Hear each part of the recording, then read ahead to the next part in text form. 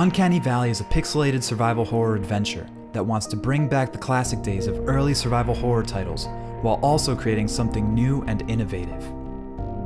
In Uncanny Valley, you play a security guard Tom, who's just been employed to watch over a remote facility during the night shift.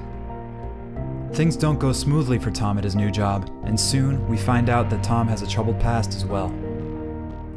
How the story unfolds and what actually happens to Tom will be up to the player, as their actions form the story, which leads to many different outcomes and new situations other players won't experience. Based on your actions, such as completing objectives, the world will change.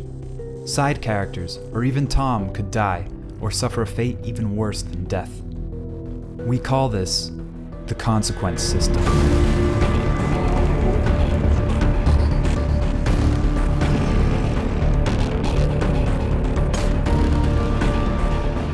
Uncanny Valley's main location is the high-tech Melior facility and the surrounding areas. The player can explore the facility freely during his shift, which lasts 7 minutes. After that, the player must return to his bed and sleep, or suffer consequences. Each day, the player is presented with an objective, and again, it's up to him or her whether or not to complete it. One of our main goals with the game is to have high interactivity.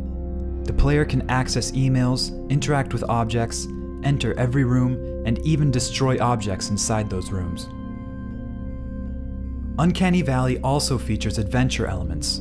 Frequently, you'll need to solve puzzles or figure out another way around, all of which have natural and unrestricted solutions. However, the path forward won't always be easy, as you are not alone. When an enemy is nearby, the best thing to do is hide. If you are eventually spotted, beware, enemies are relentless. You can choose to fight back, though resources are very scarce, meaning you won't be able to survive for long if your plan is to fight.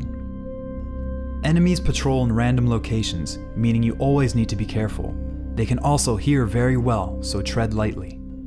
The game also features a realistic damage system. You can take damage in any part of the body, which will hinder your progression. If your leg is broken, you are slower due to limping. If your hands are broken, you will not be able to use some items or push heavy objects. Taking damage to the stomach will cause heavy breathing, which leads to easier detection from enemies. You can temporarily fix your wounds by using medications, but again, resources are scarce. There are also bigger things you need to worry about.